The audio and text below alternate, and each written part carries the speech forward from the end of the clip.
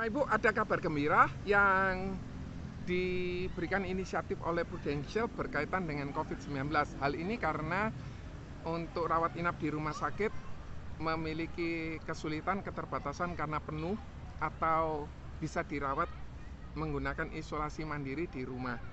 Maka hal ini bisa di cover. Nah, kenapa kok isolasi mandiri di rumah?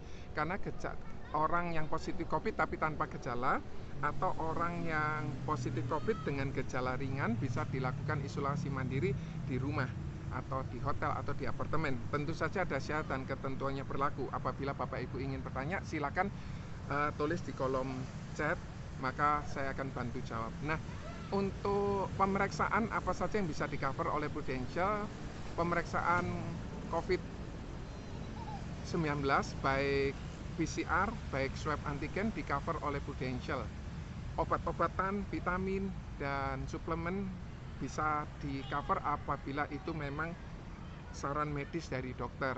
Kemudian untuk perubahan server tidak perlu diklaim, tidak perlu di tidak perlu karena bukan termasuk kondisi rawat inap. Nah, untuk bisa memenuhi syarat dan ketentuan itu maka harus ada surat keterangan dokter, baik gejalanya, diagnosisnya, kemudian berapa lama harus dirawat mandi apa isolasi mandiri di rumah atau pemeriksaan fisik. Juga surat atau hasil pemeriksaan PCR yang menyatakan positif juga resep dokter dan kwitansi. Kwitansinya harus asli dan tercetak oleh komputer karena eh, tidak bisa tertulis tangan.